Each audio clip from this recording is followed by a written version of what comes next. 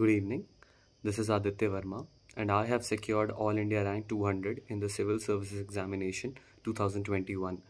My optional was mathematics, and um, I was a part of uh, Venkanna sir's IMS program. IMS. I joined the classroom program, and I also joined the the test series, which was really helpful in the in the preparation as well as just before the examination. It it, it helps you to uh, understand what kind of questions are being asked in the examination.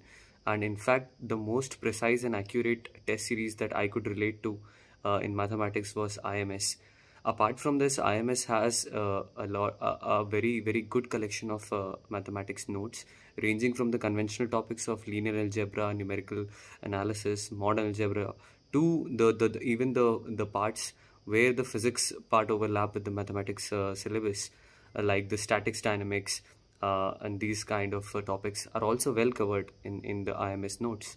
So indeed IMS has been a very pivotal, has played a very pivotal contribution in my success.